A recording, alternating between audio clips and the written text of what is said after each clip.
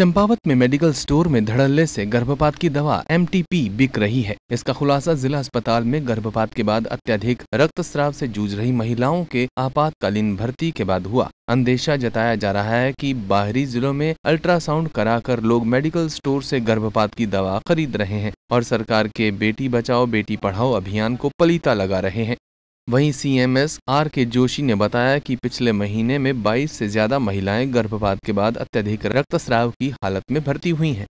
Main जो हमारा concern था वो ये था कि पिछले, ये देखने में आया कि पिछले दो ढाई महीने से लगभग 20-22 केसेस ऐसे आ चुके थे जो गर्भ गिराया गया था गोलियाँ खा के। और इस तरह की हिस्ट्री हमको मिली। तो जो अत्यंत संवेदनशील मामला है इसी परिप्रेक्ष्य में हमने कल केमिस्ट्री में एक बैठक बुलाई थी, जिसमें हमने उनसे डिटेल में ये पूछा गया कि सब आप लोग कैसे डिस्पेंसिंग करते हैं ये घर में दवाइयों की, या चाहे एमडी किट की।